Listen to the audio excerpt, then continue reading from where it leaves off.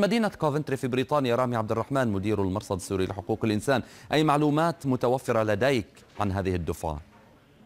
نعم طبعا دعنا نقول بأن من المفترض كان أن تعود هذه الدفعة التي ستصل اليوم قبل أسبوعين ولكن هي من المفترض أن تصل خلال الساعات القادمة لكن دعنا نقول بأن القضية ليست هي إعادة المرتزقه من ليبيا إلى سوريا، القضية تتعلق فقط بعملية تبديل لهؤلاء المرتزقة أي أن هناك مخالفة لكل الاتفاقيات من قبل الحكومة التركية للاتفاقيات التي تقضي بخروج المرتزقة من ليبيا، تركيا ما تقوم به الآن هي عملية تبديل لهؤلاء المرتزقة وليست قضية إعادة المرتزقة السوريين المتواجدين في ليبيا، هناك سبعة آلاف مرتزق من حملة الجنسيه السوريه متواجدين في الأراضي الليبية وتحديدا في مناطق غرب ليبيا. وهناك خصومات 400 دولار خصومات من قبل حكومة الوفاق الوطني على رواتب هؤلاء المرتزقة مم. الذين يتواجدون كم عدد كم عدد هذه الدفعة تقريبا الآن؟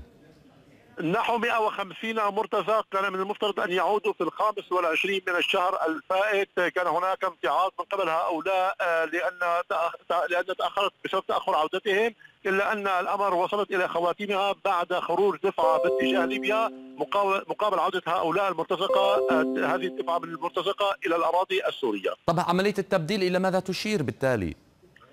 تشير بأن الحكومة التركية هي تصر على إبقاء هؤلاء المرتزقة تحت الحماية التركية، تركيا تريد أن تبقي قوتها في ليبيا ودعنا نقول بدلا من أن تقوم ليبيا تركيا بتهنئة الشعب الليبي على ما جرى من انتخابات هي تعتبر وفق هؤلاء المرتزقة العائدين أن ما جرى من انتخابات هي لصالح تركيا وهو انتصار للخط التركي في ليبيا.